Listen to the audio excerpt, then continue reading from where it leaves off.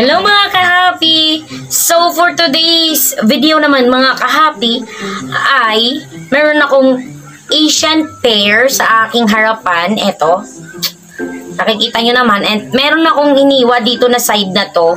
Pasensya na talaga mga kahapi kung hindi ako nakapag-set up ng mics dahil talaga namang medyo busy-busy ang panahon na to dahil may online class ang anak ko at talagang na-occupied niya yung dapat na venue kung saan ako laging gumagawa ng mga videos. And ngayon, it's my first time ulit mga kahapi na matikman ang Asian pear, pear daw. Para kasi siyang mukha na siyang mukha siyang apple mga kahapi. Wait lang, papakita ko sa inyo yung isang buo ha. So, ito siya mga kahapi. Ito, ito. Ito yung isang buo niya. Merong gre- green and yellow. And then, yung aking na, aking hiniwa mga kahapi is yung green. So, tikman na natin mga kahapi kung masarap ba talaga ang pear. Ah! Parang alam ko na to.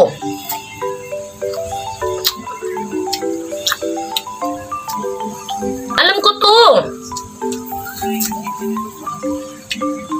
Gusto gusto ko to. Kinakain ko yung balat nito eh. Bayabas?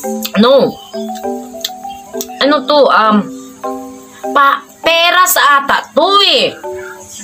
Peras. Hmm. Ko to. Eh.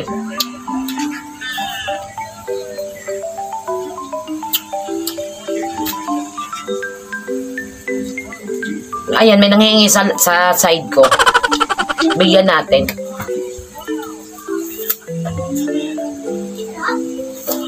Hmm. Sarap niya ah. Masarap na apple. Apple to ha? So, andito yung anak ko. Ayan. Ano, ano yan? Apple daw. pear yan, pear. Parang ano talaga siya. Um, yung sinabi ko kanina, ano nga yung sinabi ko? Peras. Parang peras talaga siya, as in. Peras siguro to eh. Kaso ito, Asian, Asian na peras. Ano ba? Balo na nga. Kasi, itong per, pair na to, maraming klase. So, siguro talaga peras to para sa akin.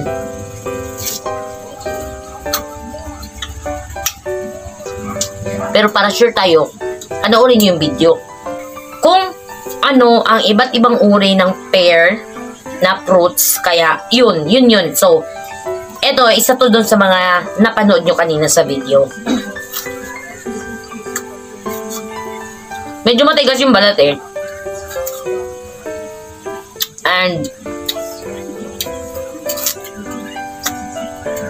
kainin lang natin yung hindi balat. Mmm! Napaka-juicy niya. Ang dami niyang sabaw. Ang dami niyang katas. Ang sarap. Mmm. The best talaga mga kahapi. Ay, tanga sumalo.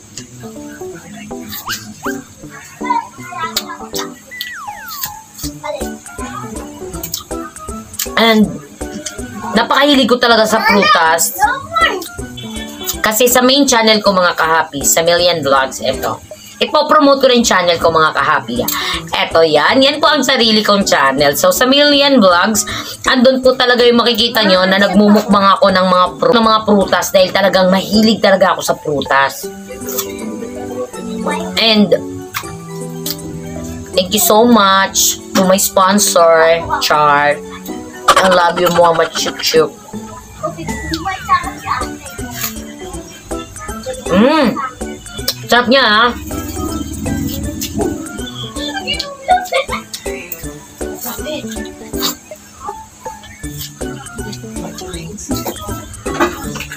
Oo, naubos na mga kahapi yung kalahating hiniwa natin dahil kumain yung mga anak ko at nasarapan sila.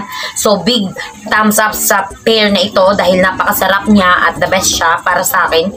So, ayun lamang mga kahapi.